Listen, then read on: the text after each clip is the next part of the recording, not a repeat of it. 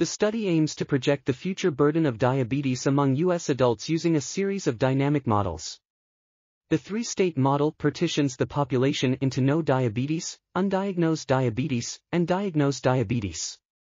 The four-state model divides the state of no diabetes into high-risk, prediabetes, and low-risk, normal glucose, states.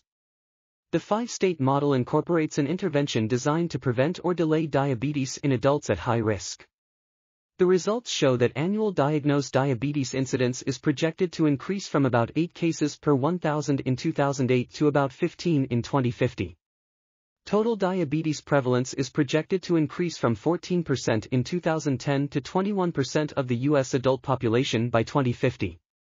However, if recent increases in diabetes incidence continue and diabetes mortality is relatively low, prevalence will increase to 33% by 2050.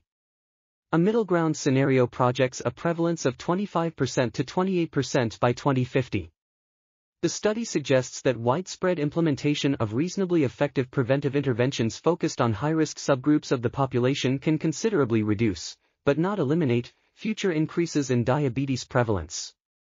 Effective strategies will need to be undertaken to moderate the impact of factors such as aging, increasing numbers of members of higher-risk minority groups in the population, and people with diabetes living longer on national diabetes burden.